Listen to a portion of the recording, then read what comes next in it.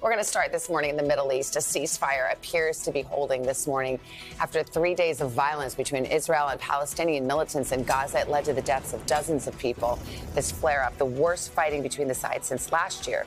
Today, Israel said it was partially reopening crossings into Gaza for humanitarian needs and would fully open them if things remain calm.